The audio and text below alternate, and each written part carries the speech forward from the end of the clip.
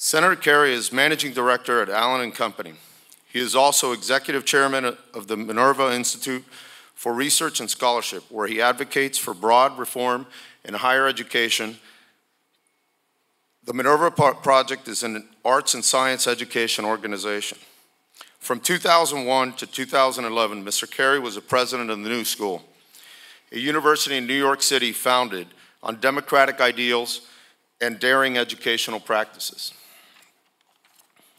From 1989 to 2001, Mr. Kerrey represented Nebraska in the Senate.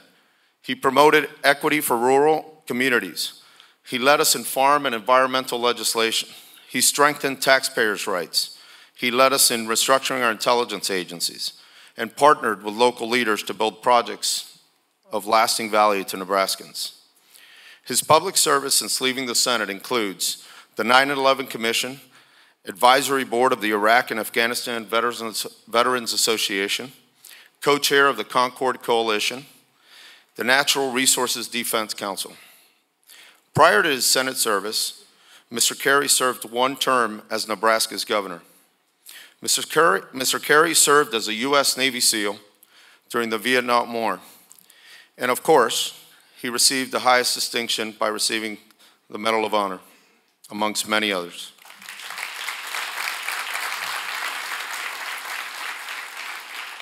Thank you, Senator, for all your years of service and of public service for this great nation. Without further ado, please join me in welcoming today's moderator, Bob Kerrey.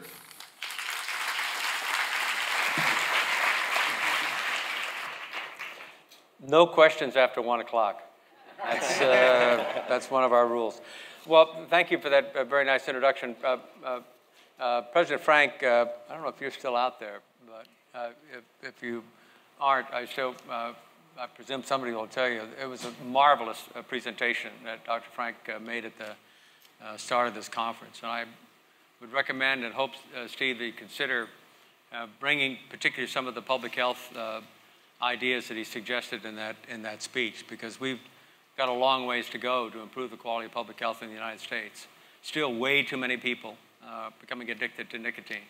Way too many people that are consuming far more high fructose corn sweetener than they ought to. And as a consequence just of those two, uh, uh, we have an awful lot of not just healthcare expenditures, but a lot of suffering going on in the United States. And I'm sure Dr. Frank could go, go further than that.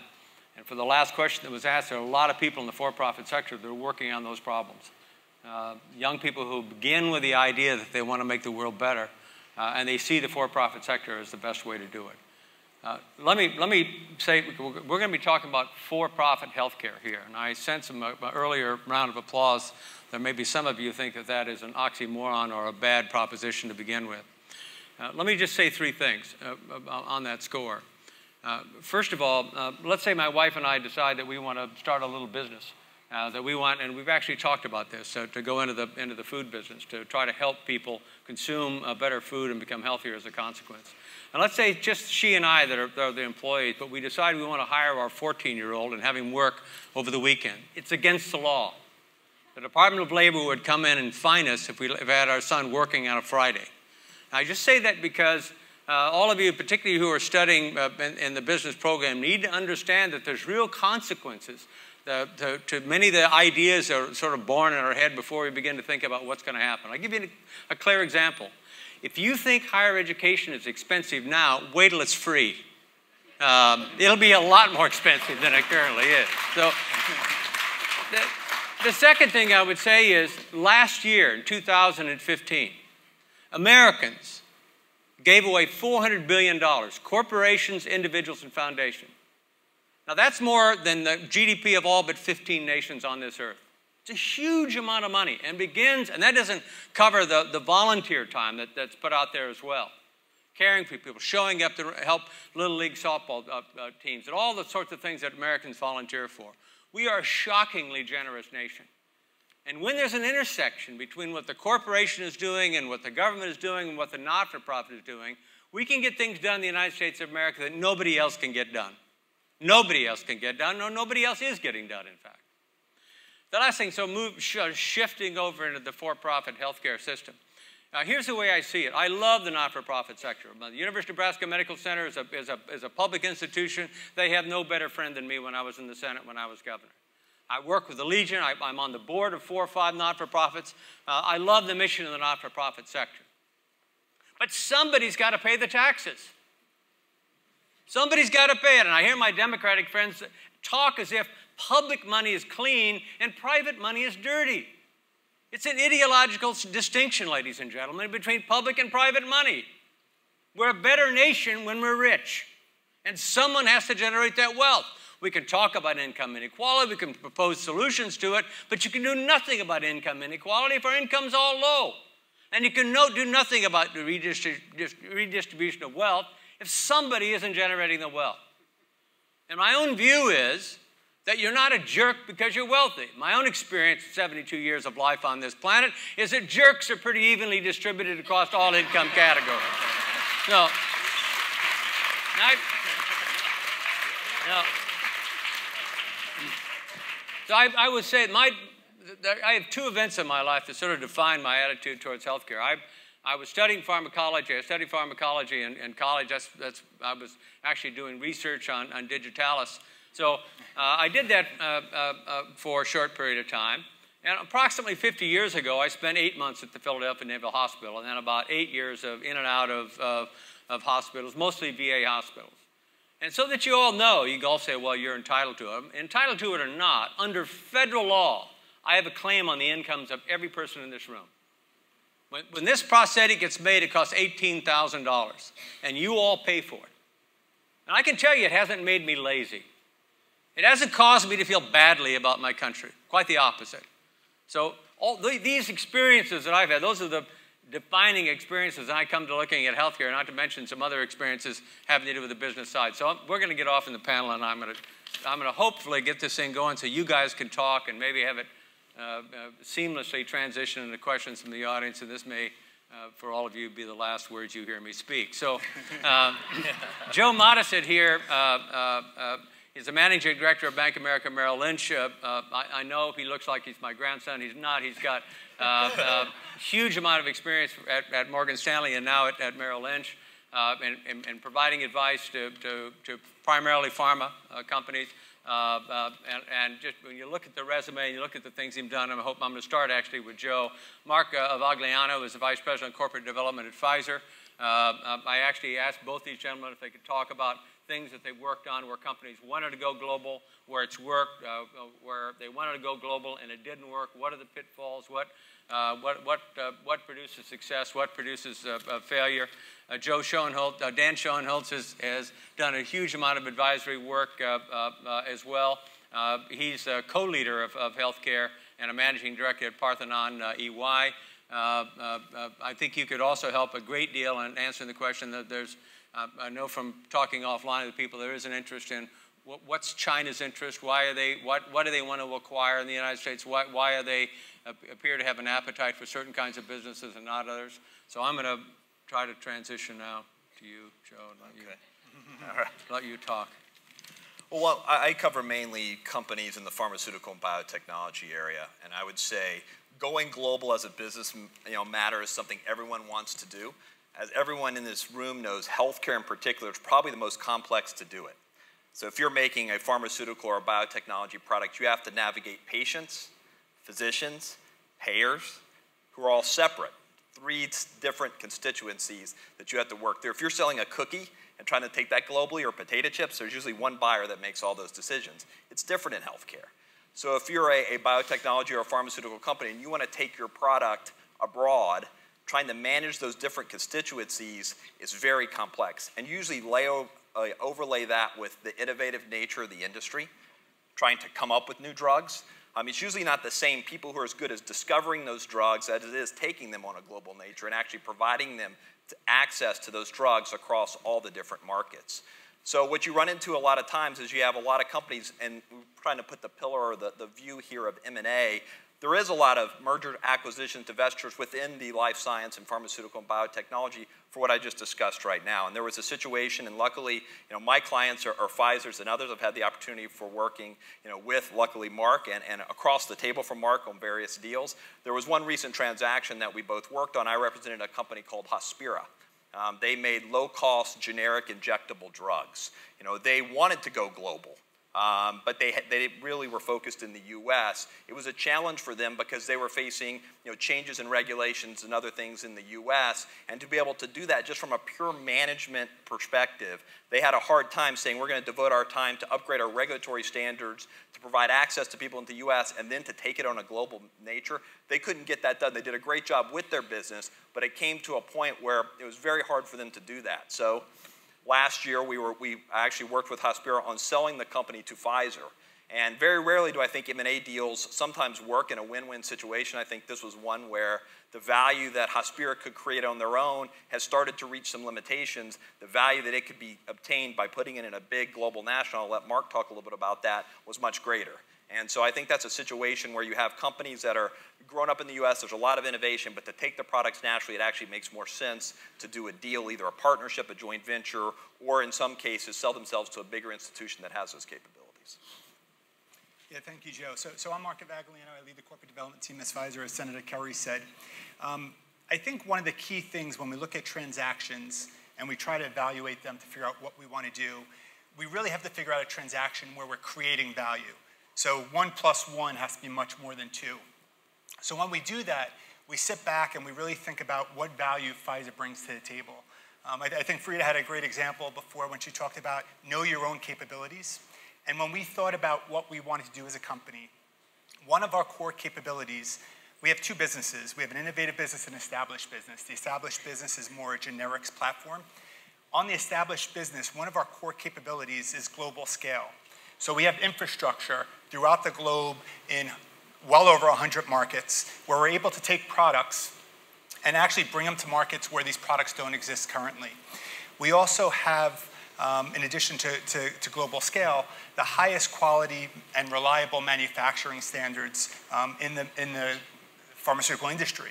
And when we looked at Hospira, two real areas where we realized we could create some significant value were those two components. So as Joe mentioned, they wanted to go international with their business and bring it beyond the US. Uh, the vast majority of their business was a US-centric business. So through our scale and our infrastructure um, throughout the globe, we're planning now to bring those products into many markets where these critical life-saving drugs don't exist today. And they're not what you would consider innovative products, but they're very hard to make products. So Hospira actually went through, I'd say at least over the past three or four years, a lot of remediation issues as the FDA stepped in and they had a lot of problems on the manufacturing side given the challenges in making these products. So we felt with Pfizer's global um, high quality manufacturing, we could actually make sure these products are reliably manufactured and then brought to these other markets beyond the US. So that's really the way we look at transactions. It's can we add value above and beyond what this company could do on its own? And then we figure out, okay, how much value are we willing to pay to bring that in-house? We would not want to do a transaction where we're just taking a business, not adding anything, and bringing it within Pfizer, because that's not creating value for the company, and it's really not creating value for society either. So we always look at how we could add value to what a company already has through an acquisition or a partnership. Dan, you've done a lot of trans-border transactions. You've advised people on it. Uh, uh, I ask you specifically about China, but perhaps more generically, you could talk about what are the opportunities and what are the risks. Yeah, I'd be happy to. And I, I, think Dr. Frank teed it up very well with his concept of both interdependency between the regions and cyclicality. So I think what you're seeing is uh, no one region has uh, the monopoly on either inbound or, or outbound cross-border transactions. There's different motivations. I think it falls into two categories. You see companies taking advantage of opportunities to just take a business model that's been very successful and port it. Now, in healthcare, particularly from an, a US centric perspective, there are challenges in that. We are still a, a fairly different healthcare system than the way much of the rest of the world operates, but there's also tremendous challenges as well as opportunities. There, there is also opportunities for companies looking into the United States um, to be very successful. We are still the largest healthcare market by, by a leap and bound in the world. And so businesses that have found success in other parts of the world uh, coming into the U.S. Uh, have opportunities. Uh, so expanding just geographically is, is one, one area of opportunity. You know, I'd point to a company like Fresenius, now one of the largest healthcare, private healthcare companies in the United States, German-based, has a very good equipment business, but recognized early on services mattered. You could get into the services business, provide dialysis treatment, recently hospital staffing treatment businesses here in the U.S. as well as around the world. So they've been successful at bridging through, through that to, to expand their footprint. Uh, interesting company uh, like Cigna that's doing the same thing on healthcare, a variety of healthcare insurance uh, products, ancillary services, picking their markets carefully, um, going uh, country to country, and there, there are a number of others. I think the other category is just a capability expansion. Uh, and so I think about the pharmaceutical companies and med tech companies that recognize that the best opportunity to implement a business model transformation might not be in their home market. And so I take a Medtronic as an example, very strong in the hospital surgical suite, cardiovascular surgery suite. They've been very active in buying businesses outside of the United States that bring capabilities. Diabetes and diabetes, they brought businesses that bring hospital automation to life. Now, where have they chosen to actually implement some of these strategies? It's actually in the European hospitals and striking partnerships there. Why? Because it's a bit easier to get consensus there sometimes in, a, in an integrated health system in a country that has integrated health care. But I, they are certainly looking at those opportunities uh, to bring back what they learn to their home market. Um, you have, so you have these examples of cyclicality as well as interdependency that play out across the different countries. And did either one of you, the three of you, uh, give examples of the question earlier from the gentleman who was talking about accountable care organization? The question centered on uh, moving away from a, a fee-for-service to value-based, uh, and connected to other questions that are sort of connected, you know, talking about uh, uh, why don't we spend more time on health and less time on care? Uh, do, you, do you have businesses that you're advising or you're working with that are doing precisely that? Well, I think the, med- the metabolic um, initiative at Medtronic, uh, J&J and Janssen Health Innovations has a powerful cardiovascular initiative uh, that involves uh, uh JV as well as in- innovating internally to the organization. So I, I think you'll see the life sciences companies, I asked my colleagues who, who spend time with the pharma and medtechs to comment, you do see them reaching out and realize that to be effective and differentiated in a world that moves away from paying for a, a pill or paying for a product, you have to get closer uh, to the patient. You have to integrate that care. I think M&A is, is an oftentimes a tool, whether it be a JV or a straight up acquisition in some cases, to, to accomplish that. But. Yeah, go ahead. Yeah, I, I would agree. I think um, you know, as people look at the, the solutions um, you know, I think there were some comments made about if they had the cure for certain diseases or people holding them back. From what I can tell from, from my interactions with, with my clients is, listen, I think it, there, there's a pretty robust set of capital markets. If somebody could find a solution that would, that would cure a disease or make a significant advancement, there's enough capital outside the bigger companies and people who would listen to where they would do it. So I think we have a, a very healthy capital market and kind of robust set of ideas here. And I think where it's moving is it's probably not, you know, as I see, and I'm not by any means a scientist, but where you see some of the biggest advancements in medicine is around the areas of oncology and immuno-oncology. And what you're seeing, it's usually not one solution that's going to take all. It's multiple combinations of products. And I think one of the, the biggest advancements I've seen is that you're having a lot of these companies work together to actually partner these products, you know, and, and just from a, on a broad basis with each other earlier and earlier to say we may not have the solution. We're going to figure out what actually works, and then we'll figure out the compensation for that going forward. But if we're able to actually provide some sort of cure and advancement in disease, so you're seeing people like you know Pfizer and Bristol and Merck and others actually partner together which you know 10 15 years ago you didn't see that in this industry. So i think that's a, a big advancement. I think it's all to the, the end of let's find a solution. If we find a solution there will be compensation and there will be you know income that can be shared but it really is I, i've seen that advancement and change in the way people look at things and the way they look at joint ventures you know with one another. The only thing i would add one specific example that actually to, to joe's point if you think about the hepatitis c market that was an area where everyone was looking at, at at, at drugs and de- developing them, realizing it was going to cost hundreds of millions of dollars. There's a good chance it wasn't going to be successful. But if it was successful, it was going to be a cure. And a few companies did advance, make those investments. They came out with the drugs, and they're now selling them on the, on the market. I think the cure rate's well into the high 90s. 90s. For these drugs. So, if, going back to the question of would we bring a product to market that we know is a cure, that's a great example where, where we have um, as an industry. Now, there has been a lot of backlash, as everyone knows, on the pricing for those assets. So it's something that you know, as, as, from a policy perspective, we have to figure out if we want companies to bring cures to markets, you also have to think about what's the right price and proposition for those assets where you're going to cure drugs. Yeah, the other thing in fairness is it's worth pointing out that Gilead did the opposite. They went international. They went to Egypt and many other countries and provided uh, Sovaldi at uh, relatively low cost. Absolutely. Um, and that Turing and Valeant with the bigger problem. Exactly. in the market. Yeah. So talk to me about China. What's China looking at when they come Yeah. into the United States? Yeah, it, it's Everybody's very- got the Ch- China fear all of a sudden. I, I would say it's certainly a change, and, and so uh, China's on a rapid lear- learning curve when it comes to international investment, and that doesn't just go uh, for healthcare alone. But um, what I've seen in the last four to five years is just the emergence of more mature uh, asset pools in the country. So um, private equity, uh, not just uh, state-backed entirely, but actually pools of private equity uh, coming in search of opportunities in healthcare.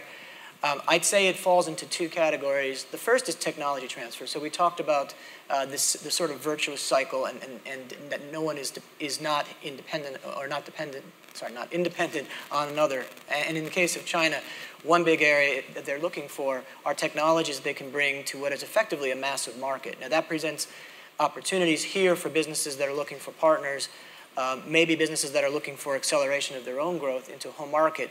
The fact is, you can't do that alone. You need to do that with a local partner.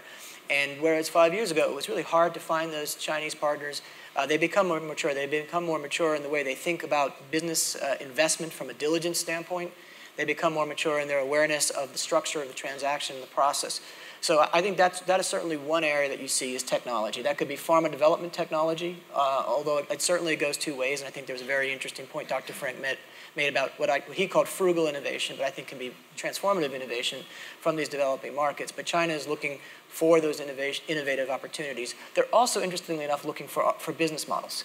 So um, we take for granted things like outpatient surgery. Doesn't necessarily exist very well in China. And the thought about um, developing countries uh, leapfrogging the technology and potentially actually uh, taking a step uh, forward ahead go, rather than going through the, the model that we had, which was a lot of hospital-based care now moving out. Um, they're looking at those models and they're, they're seeing again a, a vast new middle class, 300 million middle class Chinese by, by a broad definition, growing economy.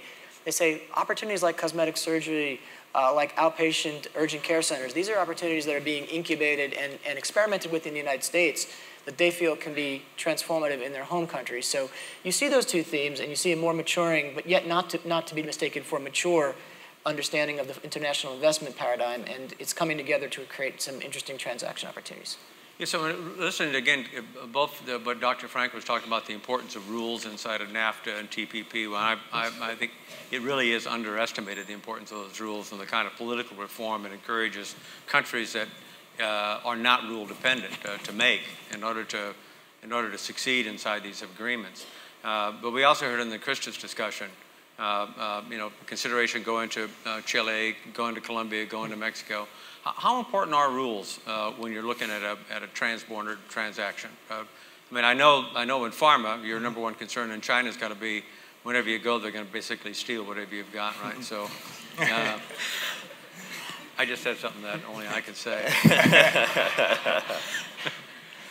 I think, listen, I think a, a lot of the companies I work with do look to go to the emerging markets because the demographic trends are very strong, you know, providing access to medicine, and there, there's a lot of growth that in some developed markets there's not as much growth just given demographic trends. I do think one of the major things that are focused on is, you know, around compliance and regulatory and around things like the Foreign Corrupt Practices Act. There's lots of money spent trying to understand how things are delivered. And there are a lot of transactions where there's great products and great companies, but they don't have the right type of corporate setup or legal or regulatory framework to prevent people from buying it. So it's not always, you know, I'm willing to pay $10 and they only will take, you know, 12 that causes transactions, especially in the emerging markets, to fall apart. I would say a bigger part of emerging markets deals is that exact problem is around, you know, the, the legal and regulatory and rule framework in those countries and not just what the rules are, but how they're enforced and how they have to be enforced to be successful in business. Because I think sometimes you see to be successful in some of these markets,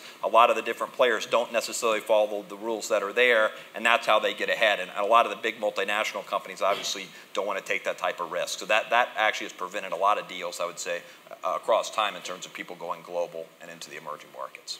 So just flip it around then. Just uh, how important are, uh, is it for us to understand the value of us living in a country where uh, we do have rules? We understand what the rules are. For example, the most remarkable example that I could give recently was the Supreme Court decision on marriage equality. Um, uh, uh, it won't, I don't think, shock this audience to hear that it was unlikely that Nebraska was going to pass a law providing uh, an opportunity for gay men and women to marry, right? When that court made its 5-4 decision, every single county office is open for business for gay men and women to get married. Every even though even the controversial case uh, uh, where the a woman, I guess it was Alabama or someplace like that, where uh, even even there they worked it out so somebody else in the office is doing it. We have a rule. The court court makes a decision. You may not like the decision they're making, but once that court's come down, uh, that is that becomes the rule of the country. How, how how important is it that we have very well established, I'd say, relatively transparent rules and rulemaking? So I could start. I guess the key thing from our perspective is that the rules don't change. So if we know the rules from unless the outset, you change them, unless we change them exactly. no, but as long as we know the rules from the outset, yeah. then we know what we have to do. It's when you have a moving target. I think that's when you run into some struggles. I, have got really bad news for you. it's a democracy. It's always going to be a moving target. Absolutely. Get used to it. You, you, you've got enough going on in Washington D.C. Uh, when it comes to rules. Yeah, right? but it, it, that, that's the real problem that we face. It's, it's, it's try to figure out what the rules are and then let people um, follow those rules. In, you're talking about U.S. now? In the U.S. Um, I, I, think Joe's point of compliance, that's, that's the thing that actually tanks us when we look at opportunities in the emerging markets most, most often. Um, you look at what's going on there, um, how the, the, the local representatives of those companies operate to get the business done. But on a scale of 1 to 10, how, how, how would you rank our, 10 being high, of the stability of our rules? The stability of, of our rules, on the unchanging nature of our rules, the confidence that you have that our rules remain. Uh, you know, it, it, it's much more volatile now, in my view, than it has been the past 10, 15 years. You have, I think evidence, we're running you have a, evidence of that? No, but I just think we'll run into a lot of issues um, with not being able to afford health care. Um, we have a lot of issues with obviously the Affordable Care Act and are we going to switch to a single payer? We have a lot more dialogue going on now. Quit listening to Fox. We, we're not going to go to a single payer. Maybe we should, but we're not going to single payer. There's nothing in that bill but that as, takes us in that direction. As, as you start having, no, but as you start having these, this dialogue in the country, we have to figure out what we actually want. And then once we establish those rules, it's a little bit easier for the pharmaceutical companies to figure out where they actually want to invest and what areas they want to enter into. Well, talk to me about, um, in the, in both, both the U.S. and globally, the importance of public research. How, how important, how, uh, again, uh, Dr. Frank mm-hmm. referenced it uh, when he talked about how important is public research to, to pharma? So I'm definitely not an expert. I don't know if one of you guys have, have a view on public research. I do think there's a place for the public-private partnership in a lot of different um, realms, whether it's research, whether it's advocacy. Um, I'm on the board of a, of, a, a, of a nonprofit for Duchenne muscular dystrophy, and we have that dialogue all the time about where should we invest our time and money as a nonprofit yeah. versus the private sector. So if we're investing in something that the private sector would already do, it's incentivized to do, research and development as an example, we're wasting our money and our resources. What areas can we go into as a nonprofit that we know won't be picked up by the private sector to make the system come together as a whole? So I, I personally feel there's, there's a place um, for each one of those sources as opposed to an either or. Now, I think public research is enormously important. You're seeing innovation gaps right now, particularly in, in development of medical devices, that only can be filled, by, at least in, in, that stage of development, by grants. And so we're, not going to have we're not going to have a vital pipeline of research um, if we don't have a public role. And 50% now of all R&D is being done outside of big pharma. Mm-hmm. And I think that, that also is, is enabled by grants, but also by, by venture capital, around the world, and I think that also creates new opportunities for partnerships and JVs. You know, the big companies, the Pfizer's of the world, are looking just as much outside their laboratories, and I worked in those, those incredible laboratories early in my career. A lot of that's happening outside. Public funding has a role, uh, but also the, the opportunities to create partnerships is important as well. And on the rules side, I think rules can also be rigid. You look in Europe, they're enacting more stringent medical device rules. Now, you could argue about whether they're good or bad, but I can tell you several clients are looking at those imposition of those rules and they're creating M&A opportunities. Why? Because companies that lack the resources of a Boston Scientific are looking at themselves and saying, I have trouble doing business in an environment that's so restrictive. Should I be getting out of certain businesses that are, that are overly burdensome? Well, that's going to create some JV uh, or M&A opportunities by virtue of the rules not just being clear, but being very, being increasingly restrictive and rigid. I mean, I think the one thing about the, the rules here is it has created, just from a, taking it back to a financial point of view, a very robust set of capital markets, especially for emerging stage growth companies. If you have a good idea and you're able to articulate that to both either private investors like venture capital or public investors ultimately in an IPO, we have a capital markets and a set of investors in the United States that can invest in that and are willing to take that risk. And that's a lot of risk that investors are, but they get rewarded on it at the end of the day. And it's much more robust in the US than it is in other parts of the world. Even Europe, which you would think is a very stable sense, the bio, number of biotech IPOs in the US versus Europe, I would say over the past five years, it's at least 50 or 60 fold in the US versus where it is in Europe. And that's because you know the set of rules, the set of reimbursement, it's creating that, that entrepreneurs and those opportunities, which are ultimately going to drive the new technologies and innovations that we need to address a lot, a lot of the problems. Yeah, I think that's right. By the way, I mean, I, I, again, back to giving advice for next year's conference. I mean, there's a, there, there really are a lot of, uh, young entrepreneurs that have started businesses that, that uh, I would say focus much more on health and, and a lot less on care, uh, sort of across the board. They're not hostile to the idea of the care, but they're just they're trying to uh, do some really exciting. They all, by the way, they all want Pfizer to buy them at some point. So. no. So talk to me about a, a, a, a, I'm sure you've all been involved with a transaction you thought was great at the beginning and at the end it sucked and went downhill. And have, you, have you ever had one of those? Um, I, I, could bring up one brief example. We talked about this yesterday, actually. I've forgotten.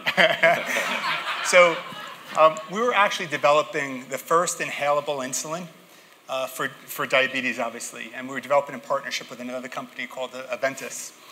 And when we actually first invented it, Lantus, which is 24 hour basal insulin, wasn't available.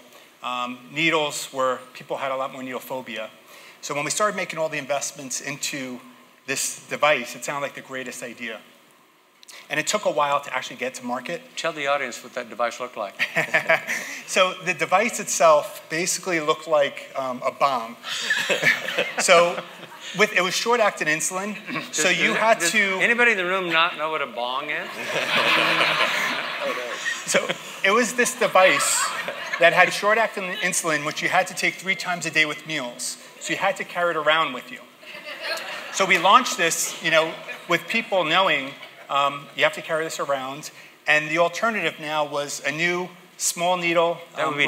That would be tough for TSA, I'm thinking. exactly. um, but when, when we looked at the opportunity, we had the right to buy it out from our competitor, and we did. We bought it out for 1.3 billion. About a year later, we launched the product, um, and we sunk another few hundred million dollars just launching it, and then essentially withdrew it. Just because patients, the market moved away from what we thought was a convenient way of delivering insulin. The market moved away to a new product, which was a very small needle that was very easy to do under the table, whether you're in a movie theater, et cetera. So we ended up actually uh, one of the worst deals that we've done, I would say, at Pfizer. I think you know, listening to diligence is important. We had a, I don't know if animal health is the focus of this conference, but there's an, it was an animal health deal. That's who we are. Pet. you know those flea collars that your dogs wear? Well, so we worked on it for, for, for actually a Japanese company, Sumitomo, buying this business. Um, they went and bought Hartz. Hartz is a very, rep, very well reputed name in the mass market, but the problem is they had an active ingredient that they thought they could get into the vet channel. Well, the likes of Bayer and Novartis own the, on the vet channel, and uh, those are pretty formidable competitors when it comes to biopharmaceuticals. Uh, Diligence came back saying this was going to be really challenging. They, they went ahead with the deal, and, and, and you know, six months later, we got the, the very difficult call from Tokyo about where, the, where our client had been reassigned for uh, purposes of uh, not having such a successful transaction. So I think you know, doing your diligence, especially from the vantage point of an international deal, where you're not as familiar with the entity, you know, get advice, listen to that advice, uh, be aware that every market is different, and your position in the market, you know, can really matter. Can you? One of the things, uh, uh, most difficult agencies for me to figure out is the FDA. Uh, I mean, I'll, I'll talk to uh, Jim on Friday, and Jim tells me the FDA is moving too slow. And then I'll talk to Paul on Friday afternoon, and he said it's moving too fast. Um, um, how, how are they doing these days? Do you think? I mean, talk about certainty, right? I probably don't, don't, don't have a great answer um, with, with regard to the FDA. I don't, I don't work too closely, to be honest. Not having a great answer has never deterred me from answering the question. yeah, I'm in, the, I'm in the room with too many experts in that Yeah. space, so kind of have, have a little bit of hesitancy on, on um, how the FDA is doing. I think the one thing that, that we do struggle with when we're doing development is figuring out what that time frame is of how quickly they're going to respond to us, how many times we have to go back and forth. And of course, that's a great uncertainty when we're trying to value what, something. What, if you're just starting from scratch, let's say I, I, I just come out of the lab, I came out of my Digitalis lab, and I've got, a, I've got something that I think could cure Alzheimer's, and you decide that you're going to take it through clinical trials. How much money does it take to get it through phase three clinical trials? There's various estimates depending upon what type of population Yeah. you're in. Sometimes 800 million to a billion dollars um, just to bring it to market. Sometimes it can be more, sometimes less. The FDA puts on post-approval commitments a lot of times, dependent upon the space. So then you have mu- multiple hundreds of million dollars after that. So it's, it's really a whole equation.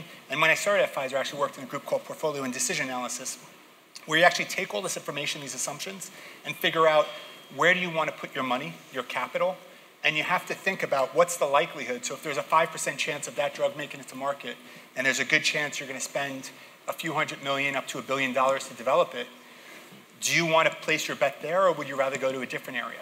And we do those trade-offs all the time. And I think it really plays into what healthcare system and what products we want at the end. Again, going back to the incentives and, and the rules and having the transparent rules, if we know that and can value it, it's a lot easier than if there's a moving target. When there's moving targets, it's very hard for us to figure out, do we want to make this $800 million investment into this opportunity, knowing whether it's the FDA that's going to change the rules, whether it's um, you know, other, other governments, whether it's the US government, et cetera. If those rules are changing, it's hard for us to commit down a path and invest that kind of capital, not knowing what the outcome is going to be. Uh, we can start taking questions here in order to finish right at 1 o'clock. Um, Yes, sir. Hello, gentlemen. Hello, audience. Uh, my question is regarding EQ versus IQ. I know that all of you are very uh, knowledgeable and you all are experts, but you also have worked with members all across the globe and with different cultures, with different ideas and understanding. How do you make sure that your members of your company and yourself are able to communicate effectively and get your ideas across to people with different ideas and how do you develop win-win relationships when um, cultures are different from ours or yours that's my question I guess I'll, I'll start. I, I think it's a very, very important question. We touched on it in, in the Christus in Chile example of how important that is. Um, we have global teams at EY, and, and uh, we have different business groups dedicated to certain countries, uh, particularly uh, China and Japan business groups as, an ex- as examples of that. And if I'm working with clients from those, those cultures and countries, I've gotten to be better at, at relating to them, but I, I will always work with my partners to make sure we're anticipating the cultural norms, or you might call it the EQ, or just the expectations. Um, clients differ dramatically in their, in their need for information, the way they make decisions. So I, I think having a global organization helps, and having people who are not just learning by, by second order effect, but actually have come from those cultures, be part of the teams. It speaks to the importance of having a global and diverse uh, talent pool to draw from when you're, when you're working in these kind of environments. I would just say, I mean, technology is great, WebEx, telepresence, all that, but there's nothing like being face to face. And so, what we advise our clients, if they're the most sensitive discussions you have to have, you need to have face to face. We try to keep the airlines industries employed, and we travel a lot. Um, and um, what I would say is that that's you know, in terms of you know, everybody. At the end of the day, we're all people. So if you're face to face, that's a lot easier to, to relate. Um, and so that's the when we do, when we're giving advice to Pfizer or other companies on how to negotiate. Get on a plane and do it face to face is kind of the key key part of that. The- only thing I would add, what, what we've done at Pfizer is, is our executive team actually instilled a, a culture, a culture that we call Own It. It's basically enabling all the employees, no matter what level, to actually own a piece of the, the company and the decision making. So pushing the decisions down, whether it's regional, whether it's different functions, and letting everyone have a voice at the table is one of the things that we've been instilling across the company on a global level to try to address that point as well. Yeah, my, my advice would be to spend a lot of time asking questions and listening rather than talking. Um, and in the due diligence process, you'll discover if somebody's broken their word. And it, it happens. And there are some people, even who run for office, who just brag about the fact that they declare bankruptcy and break their word and, for, and for, you know, and, and don't pay their debt. And so I think due diligence will determine whether or not you trust somebody enough to want to want to do business with them. Thank you for your time. Thank you. Hi, my name is Alexander Ocasio. I'm, um, I work for a genetic research company named AlphaNet, and we have an issue with a lot of our patients where they need to get infusion therapy, and they have to go to Canada to get it because the pharmacies sell it here for eight times the price that they do over there because there's no regulation on pricing. What is your opinion on this? Should there be regulation on these pricing when it's the same company selling it here and in Canada? Where we have patients dying weekly on this where they shouldn't be. What are your thoughts? Well, there, there, you know, I guess it's a very fair question. It's, it's a fragmented business, home infusion or infusion pharmacy.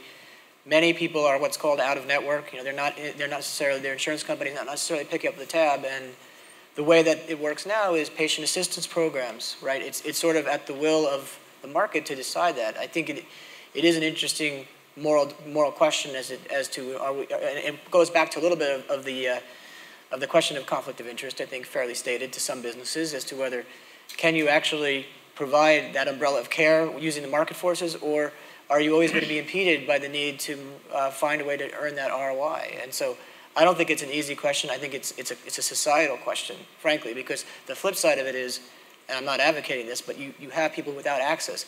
If you didn't have a fair return, to Senator Kerrey's point about being in business, do you even have those products in the first place? So I think it's a challenging, challenging dilemma. I don't have an easy, easy answer for it. But. Just, one comment, a specific example to look at it slightly differently. I agree with Dan 100%. We have to figure out from a policy perspective how we want to address it. But in our acquisition of Hospira, they have a saline solutions um, facility, and they compete in that market. And what's happened is those products have been priced essentially at cost or below cost and have been provided to customers for all these years, actually losing money. So what, what happened was the, the capacity um, actually diminished. No one was willing to make these $100 million investments into bring, keeping these, these plants up to, up to standard. And I think it was 2013, 2014, there was a ma major shortage of IV, uh, not IV, saline solutions. Many hospitals had to ration and actually shut down because saline actually runs the hospitals. So it, it's really that trade off, figuring out the right pricing to encourage investment, whether it's innovation or whether it's actually being able to supply the products versus who should that cost fall upon and what's the right return. And I don't have an easy answer for that, but you don't want either extreme is, is, is, is probably the ideal way. How you get there is, is a major issue that I think all of us are grappling with. Yeah, I would say no to the question. I mean, I, I, you, you, don't want the Fed setting prices. Uh, that's what we're doing. When you say moving away from fee for service, that is the Fed setting a price to value based trying to do, like, just the, the Fed just came out with a rule on bundled pricing for orthopedic surgery. Uh, it's a much better way to pay for the service. Now, that said, I mean, I, I do think the Turing and Valeant uh, uh, examples have, have, at least opened the door for me to say, is there, is there a mechanism we can establish at the federal level, either to make an exception where a life is endangered, uh, or uh, to make certain that the bad actors uh, don't have the opportunity to come in and buy an orphan drug and jack up the price 3,000% or some crazy thing, which is what Valeant was doing. Moving to Canada, getting a lower tax, getting rid of all their R&D in the United States of America, and then were shocked that people didn't like them. So, some, you know, some kind of, some, I, I, don't know whether it's a, whether it's a, a board or something uh, that would evaluate it, but you don't want the price setting buried inside of CMS. No, if it's buried inside of CMS, uh, I think it'll only make it worse. Thank you. Um, uh, my name is John Gentile. I, I manage a network of chiropractic physicians statewide for healthcare companies, but my question is a drug-related question for Pfizer. Um, you had said it takes 800 million to a billion to bring to um, fact a drug. I'm wondering what you thought about this individual uh, who's been in the news lately, who has jacked up the price of the drug um, that he had. Uh, it's been all over the news and says, That's well, Turing. it's the cost of uh, research and development. I'm wondering your thoughts on that because you had talked about how much it cost to bring that, that medication that the senator was talking about if he had a cure for Alzheimer's. How, do you, how does that wash with what this individual had done? And I, I think that's what the senator was referring to with Turing Pharmaceuticals, um, where they acquired assets and then would, would increase the price thou, uh, thousands of percent. Right. I believe it was something um, very high. Um, we don't obviously um, pursue that path. We look at what's the right return for the assets and the value that we're delivering um, in the healthcare space. So when we're looking at $800 million or a billion dollars, obviously there's a risk you spend that money or a significant portion and end up with nothing. So when you look at the returns, you have to look at across the whole portfolio because as the senator mentioned, we're a for-profit company, and for investors to give us our capital, we have to give them a return. Now, the right return, that's the real question that I think all of us are trying to figure out. But pricing, you have to have some incentive that if you're going to make this type of investment, you're going to have the return. That type of, of, of acquisition to buy a, a, a, unique asset and then increase it thousands of percents, um, that's sort of a, a, different, totally different animal, and, and Pfizer um, has not and, and does not um, pursue those types of, of transactions. I think it was 17,000%, something ridiculous. Yes. Thank you. Yeah. My name is David Silverman. I'm a junior at UM. Uh, during this panel, there's been a discussion of the need for stable rules. And I think that uh, it's interesting that Pfizer is currently undergoing a transaction with Allergan, which is a form of uh, tax inversion, and there's been a lot of congressional debate over whether this is fair. So I'm curious to hear from both sides, both on the corporate side and on the advisory side, how do you, one, identify those political risks when there can be a shift in rules, and how do you mitigate those risks? Can I ask you a question? How do you feel about individuals uh, doing an individual inversion by moving to Florida so they don't have to pay income tax? As far as hedge fund managers? No, no, just an individual. How do you feel about individuals moving to Florida saying, I'm paying at a 15%, paying 15% ordinary income to the state of New York. The governor of New York will build me a house in Florida. How do you feel about uh, individuals uh, making that decision. Or a corporation saying taxes are high in one state and they go to another state and get lower taxes. I feel like they have every right to do so. Uh, my question relates to how do you identify those risks and then mitigate them so your transaction is Okay. not compromised. I mean, I think uh, maybe I'll start. Uh, Listen, it, it is, as we've discussed here, especially in pharmaceuticals and biotech, which is an IP driven industry, it's global.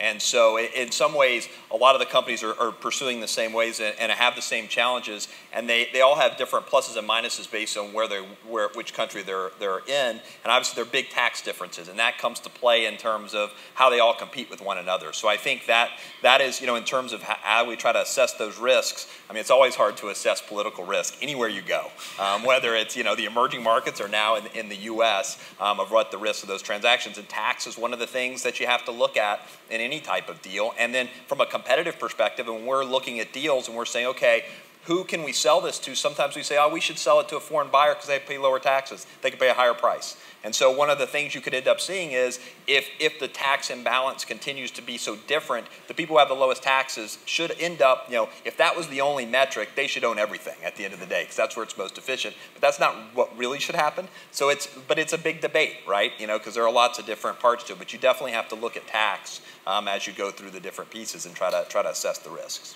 I mean, there, there is an issue here that needs to be addressed. I, I don't, um, uh, I mean, we just had a, there was a recent one where Monsanto tried to buy Syngenta, and the question was, are you going to invert? Uh, and their congressional delegation raised so much Cain with them, they backed off the deal. Then ChemChina comes in and buys them and says that uh, uh, if you want to sell seed or, or chemicals into China, you're going to have to come through us. So it was not exactly in America's best interest to rise up. And when they did it, you know, I'm from Nebraska and St. Louis is close enough. So, oh my God, the, know, Monsanto's going to be leaving St. Louis. My first reaction was largely negative. But that's why you ask about, do you mind me moving down to Florida not to pay income tax? I mean, you've got that kind of differential going on, and you're, you're the CEO of a company. You look at, you're, you're talking about real money to either to reinvest in the company back to share owners or something like that. And so we've, we've got to deal both with bringing that international money uh, that's overseas uh, back to the United States, as well as getting a little better parity when it comes to our corporate rate versus the rest of the world. And, and just to put an emphasis on that point, when you look at a, a, an acquisition of a foreign opportunity, so Allergan had like a 15% tax rate, Pfizer was roughly 25%, call it. If we actually didn't pursue um, a redomiciliation uh, along with the transaction, their tax rate we would have brought up to 25. So we actually would have destroyed value versus just leaving them as a standalone company. So that encourages foreign companies to buy US companies as opposed to the other way around. So it's, it's, it's, it's another major issue that, that everyone has to be aware of as you think through the policy implications. It is not as simple as it looks. Thank you. Yes, sir. Um, uh, my question has uh, to do with, um, I mean, you guys are multinationals, and I was wondering for, through uh, all the mergers and acquisitions, uh, acquisitions that you guys do, um, and you move into new markets, emerging, and uh, have to deal with new rules, new cultures, um, how do you make sure that the people that you put there to start up businesses in those uh, countries are actually following the rules that you have set, like ethical standards, um, uh, you know, best practice, all the things that you would do in the U.S. And how do you make sure that they're doing it in China or the Philippines or Thailand? I remember um, a story came out a couple years ago where uh, big pharmaceutical company got torn up by the Chinese. Uh, I think it was like GSK or something, and um, and uh, obviously that's something you want to avoid and leads to more costs for you guys and leads to more costs for uh, end consumers as well. So I was wondering how do you uh, how do you prevent that? I, I think just one, one thing from the Pfizer end, we have a no tolerance compliance perspective. So when Joe was talking about some of the issues when we do deal making, that's one of the, the foremost critical aspects when we look at a deal and then when we're running the business. So we have a full compliance team that um, is very integrated throughout the whole organization. Um, the majority of meetings we have, we always have a compliance person when we're talking about these types of issues on the local levels. So it's, it's a no tolerance uh, no tolerance policy within Pfizer for that. So that's probably one of the most critical things that, that we make sure everything we do in those markets is compliant with what we want to do as an organization. And you could argue maybe we're too conservative, but that's what Pfizer and, and our executive team is most comfortable with. We'd rather be much more conservative um, than, than push, push the limits when it comes to compliance. Especially foreign corrupt practices act where you can do a hard time for violating the law. So, uh, maybe, maybe one more, more question. Oh, you take it. Um, hi, Amadeo Cabral. I'm a Chief Operating Officer at uh, Florida uh, Orange uh, Accountable Care Organization. Uh, my question is uh, with the market forces or the capital markets, uh, with all the advances in technologies and services in the healthcare industry, and the transition from the sickness model, fee-for-service model, hospital-based care, to the more wellness model, the outpatient care, which we know many of it can be performed safely, we're still having to go against a lot of barriers to entry that have been established by regulations and uh, all kinds of other policies uh, that are based on the previous uh, form of fee for service. How does the capital markets or the market forces, what's their position now as there are so many opportunities in the outpatient care uh, to with the technology and the services, uh, it's basically what's going to push this forward. How do you all see uh, the venture capitals, the capital markets, aka the market forces, pushing more towards, I don't want to call deregulation, but at least a decrease in the barrier to entry so there's more competition in uh, outpatient care, outpatient treatment, and uh, the whole population health management? Well, I can speak a little bit to that. I mean, if you want to build a hospital today, it costs you a million dollars a bed. It's heavily regulated, it's litigious, and it's, it's capital intensive. Other than that, it's a great business to be in. So you'd be happy to know that people that are running hospitals are more miserable than you are. So uh, I don't, I, I, I, the market's moving your way. It really is. It's moving your way. I mean, I, I, think capital will chase regulatory change. So you see the CMS changing the telemedicine rules. You're seeing an enormous amount of new companies with telemedicine models, uh, even preceding that, but anticipating and now following it. So I think that the capital markets do sometimes anticipate and, and often will follow um, these changes. So as, as, things loosen, there's a, there is, I think, to Joe's point earlier, capital markets are a pretty good arbiter of what makes sense and what doesn't. Let the capital flow. I want to thank this panel so much. Honorable Senator Kerrey and Joe, Mark. Um, wonderful end to the morning.